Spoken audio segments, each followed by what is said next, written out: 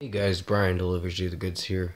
I am making a quick video about uh, the worst song mentions of 2019 uh, trailer video. So I'm gonna discuss what I'm gonna be talking about in this quick trailer and let you know my thoughts on why I had to postpone it. So let's dive into this video.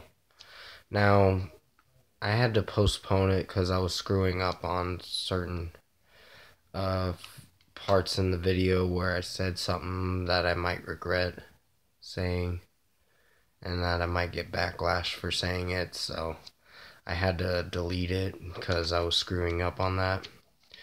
Most of what I was saying, I was doing good on it. It's just I stepped out of line in the last video I tried making to upload it and then I decided now I'm just gonna delete it and restart one more time.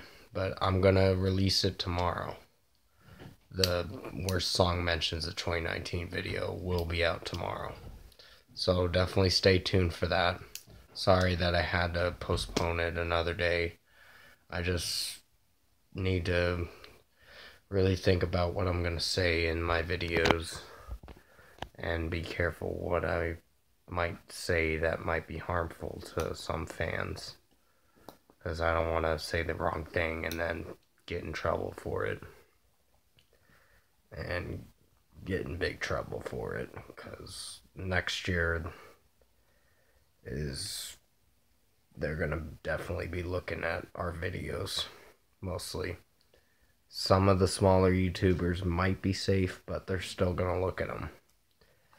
Uh, but yeah, I will release the worst song mentions the 2019 video tomorrow. So definitely stay tuned for that. I hope you enjoyed this trailer video, and I'll see you in my next video.